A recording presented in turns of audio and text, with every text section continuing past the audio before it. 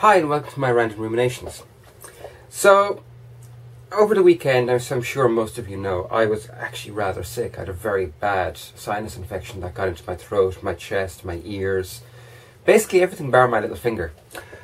And while that meant that I wasn't able to do much work over the weekend, though I did get a little done, I did manage to have a lot of time that I could put to thinking about things, working out future projects, that side of creativity, which made me think about creativity. And it made me think of the five following concepts and ideas about being creative. So, um, yeah, number one.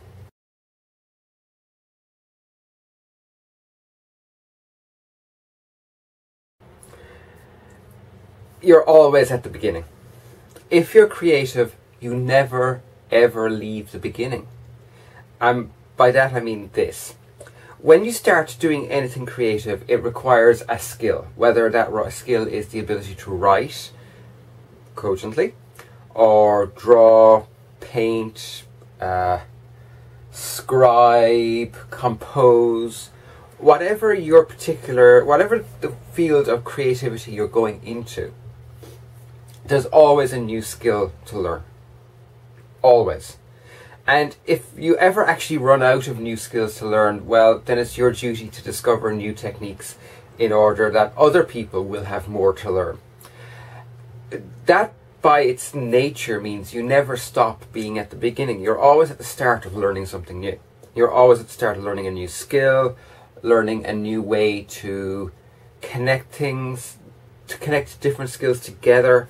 Uh, for example, I can draw okay. I can also carve. Where's the connection between the two? Well, in order to carve well, you have to be able to draw because you have to be able to, to some degree, plot out what you want to come out of that block of wood or that block of stone. Now, I don't work with stone. I have carved with wood before. And that was one that something that surprised me when I decided I wanted to learn how to carve well, and that was that I needed to transfer drawing to carving. At the time, I wasn't very good at drawing, so I had to learn drawing before I could learn to carve. And you'd think that that would be the end of that, but actually, the carving skills have led to being very and and the drawing skills for that matter have led them to be very useful for doing things like making props for things like cosplay now, I haven't cosplayed very much, but the skill is transfer. And in a lot of ways, I'm still right at the very beginning where it comes to the skills necessary for good cosplay, making good cosplay equipment. You're never stopping at the beginning.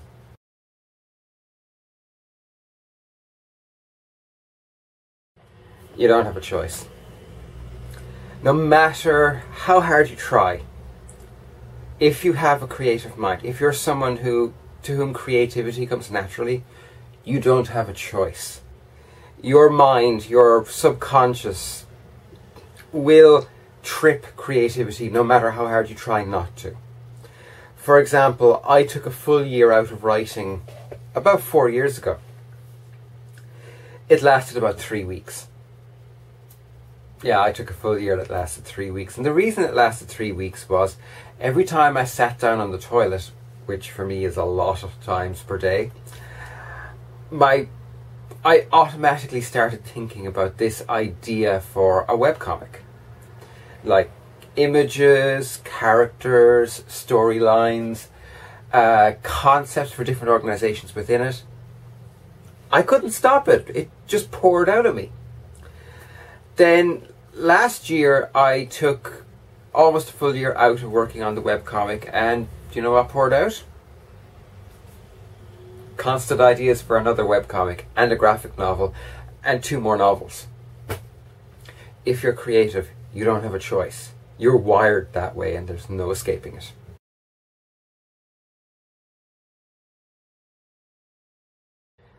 Nothing in this world is truly original.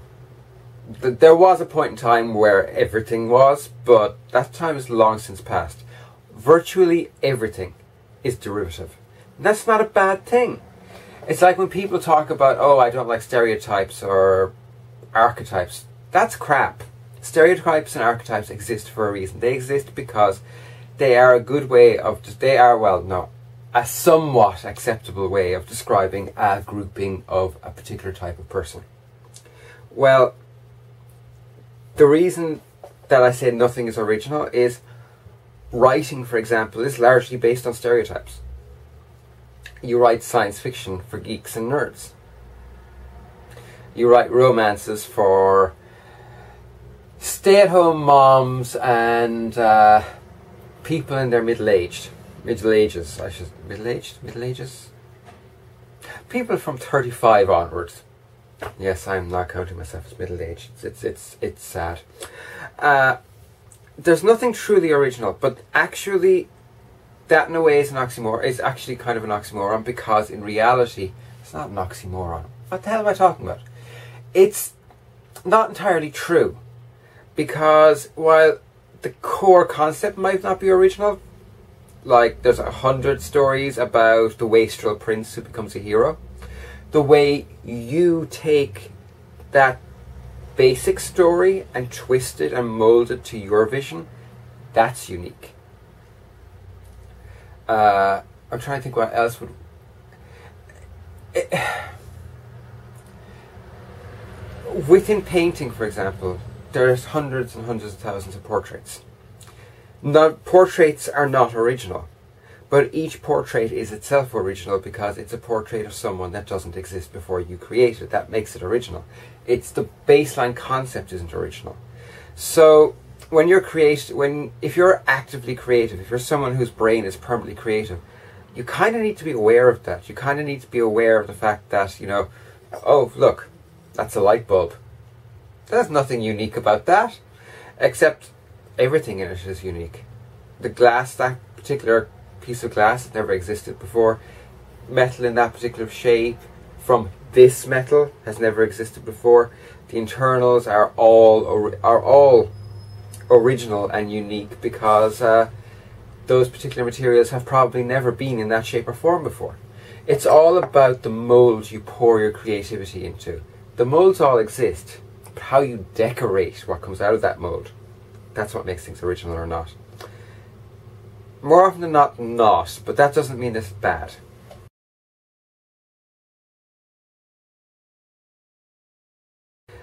This one's been hard for me to learn, very hard, but I've come to realize that it's true.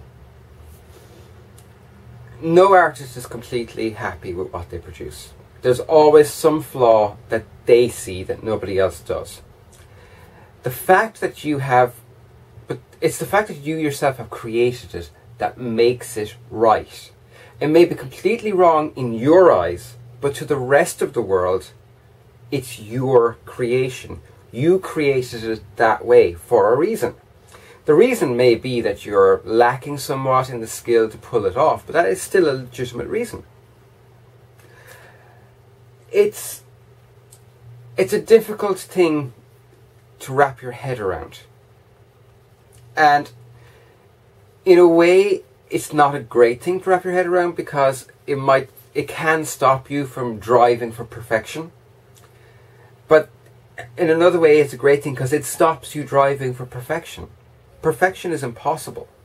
It does not exist, not in this world. It's not it's not it's not possible to achieve true true perfection. So the fact that you are always going to have flaws in your works, it's something you just have to learn to accept. Again, to go back to my webcomic, all of my characters tend to have quite long noses. And initially, I thought that it was a terrible flaw. It made me feel awful about my artwork. It made me feel wrong about my artwork and that it was bad looking and that it didn't work and that other people were going to go mad over it that you know ew how you know god it's so out of proportion but it wasn't what i didn't realize for the longest time was i was drawing people's faces actually the way i see people's faces until i stopped and I took a full day and I went to a shopping centre of all places and I just sat down and watched people for an hour and then two, and then three, and then I went to the movies. but watching people, I actually, something clicked inside my head and I went, oh, hang on. Yeah, actually, I see people's noses as being much, much longer than maybe they are in proportion to their faces. I don't know why I see them that way, but I do. So when I'm drawing, I am reproducing the way I see other people's faces. Is it a bad thing? No. It's how I perceive the world, and that's the point of art. That's the point of creativity. Now, I'm not saying that it's the point of factual stuff, like right making documentaries, writing factual articles, things like that. No, in those situations, you are meant to be at least portraying as much as possible the reality of the situation. But when you're drawing or painting, when you're writing, you're trying to let other people experience the world as you perceive it. By definition, that means that whatever way you do it is right. It's just right. It may be difficult to understand that, but once you actually get that to click inside your head, that's the moment you actually realize that you've gone from being just creative to being artistic. Artistic is trying to share your perception of the world with everybody else.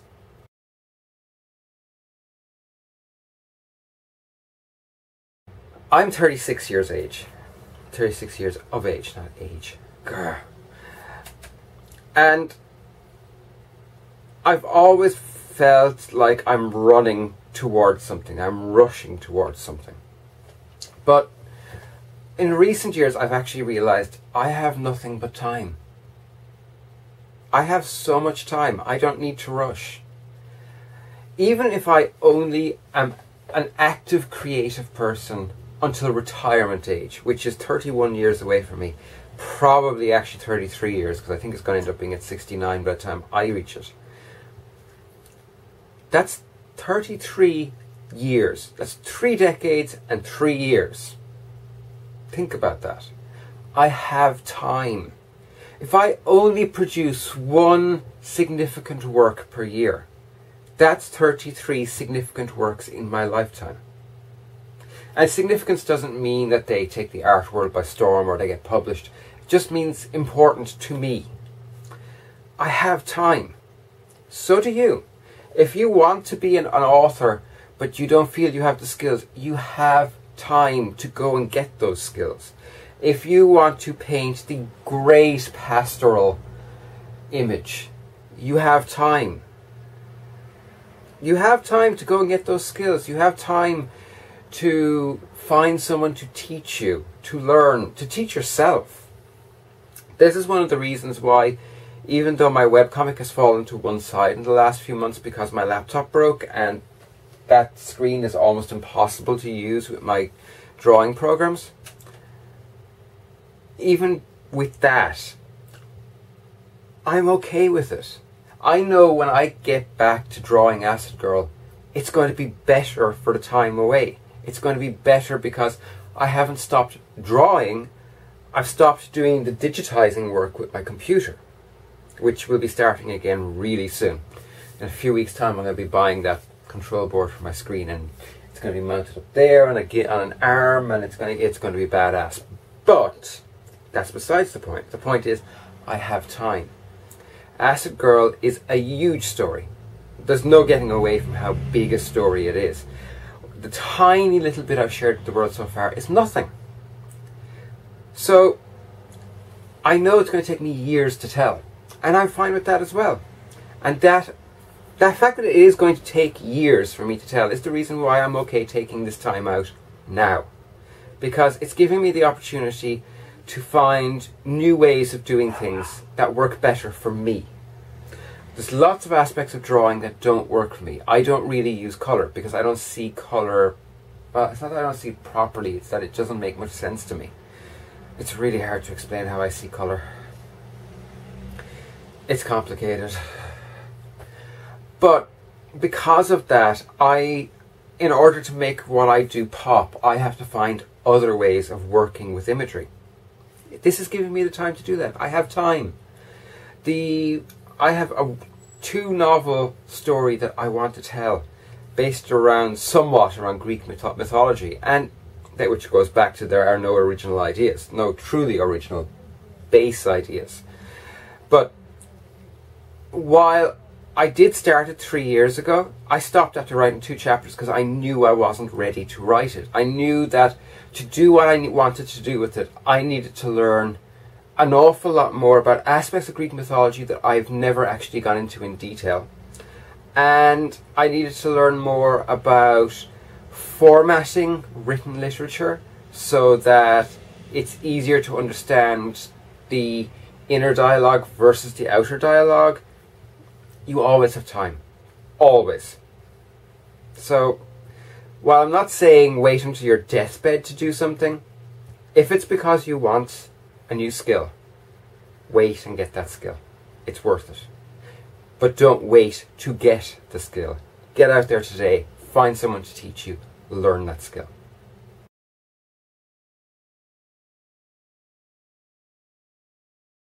Bonus point. If you are actively creative, if every day of your life you are constantly making some making something or drawing something or creating something for other people's enjoyment or even just for your own, you are an artist. But there's more to it than that. I think that step that make takes you from beyond being beyond being simply someone who's creative to being someone someone who's artistic is the urge to show other people how you yourself see the world to help people to view other people events places through your eyes and to learn how to speak about those events, people, and places with your words. Whether those words are the strokes, the strokes of a paintbrush, or strokes of a keypad, it doesn't matter which. If you're creative, if your creativity is aimed around in helping people to see the world in a different way, you're an artist. And by the world, I'm clumping everything together, not just visual, but also things like how you perceive things like bravery, heroism, honor, dishonesty, dishonor, how it feels to be rained on, how it feels for our heart to be broken, how it feels to create, how it feels to be a mother but never have children there's so many aspects to being human, and there's so many aspects to living in this world. Nobody can ever experience all of them. And that's what I think makes artists artists. They are people who are unconsciously, to a degree, and unwillingly sometimes to a degree, they're people who are driven to share their vision of the world and help other people expand their comprehension and experience of life, the world, and everything. That's what it is to be an artist. And if you are actively creative to share, and if you're actively creative to share how you feel about things and how you perceive things, then you are an artist. Now, I will say that there is a difference between a professional artist, a aspiring artist, and a uh, amateur artist. There are significant differences, and I'm sorry, but you make a living does does not necessarily make you a professional. Let's face it, most of the greatest artists in history barely ever made livings. Certainly the ones that we know. I mean, if you think about it, Vincent van Gogh basically lived in poverty. Now, I don't particularly like Van Gogh's artwork, it doesn't speak to me. But he is considered one of the greats. He essentially lived in poverty, and he would be considered a professional artist.